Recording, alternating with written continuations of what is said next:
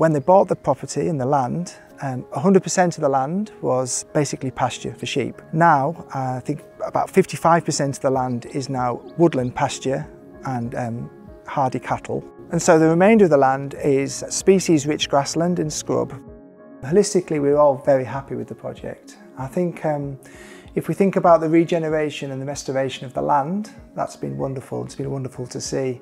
Concurrent with that has been the, the restoration of the buildings and the regeneration of the buildings and seeing them being occupied again by the farmer.